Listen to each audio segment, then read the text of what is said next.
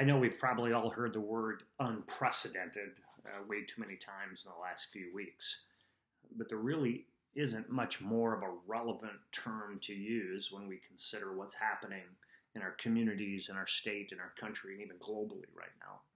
Um, it's the first pandemic that we've experienced.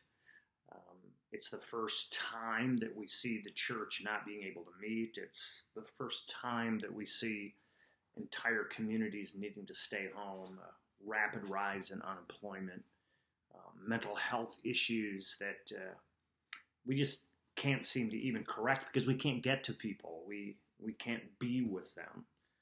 Um, everything is at a distance right now.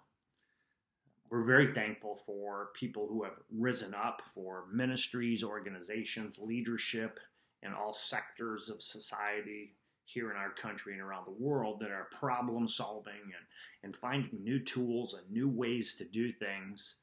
It's the image of God in us that we are created to solve the problem, to lean heavily into God, to lean heavily into the example of Jesus, to listen intently to the Holy Spirit, and find a way to bring the kingdom of heaven into the situation we're in. Thank you for your leadership. Thank you for your innovation, for what you're doing in your sphere of influence to bring the kingdom of heaven, to bring grace and hope into a really fragmented situation. The precedent for that leadership is really found in the book of Nehemiah because Nehemiah found himself in Jerusalem. It was in rubble, it had been destroyed.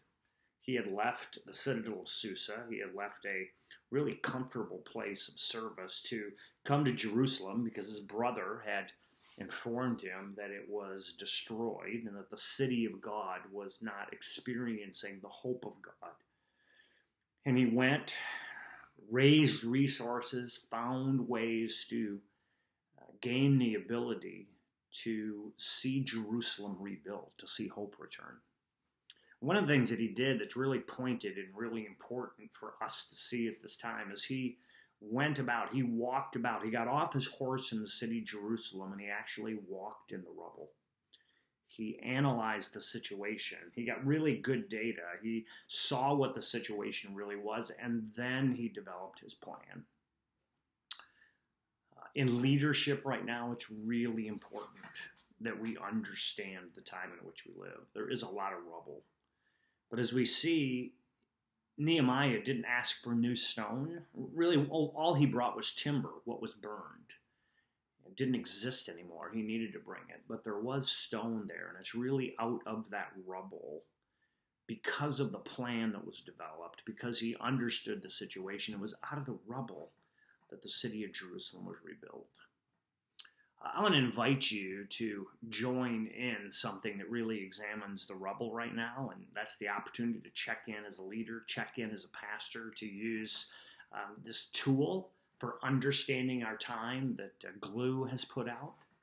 Because I believe it's that Nehemiah moment of being able to understand the data, of understanding what's around us, being able to have all of the people that you give leadership to check in and say, hey, this is how I'm really doing so that we can truly have a plan like Nehemiah did to really understand our times, understand a strategy, and understand how we rebuild the presence of God in people's lives in this day. So, thank you.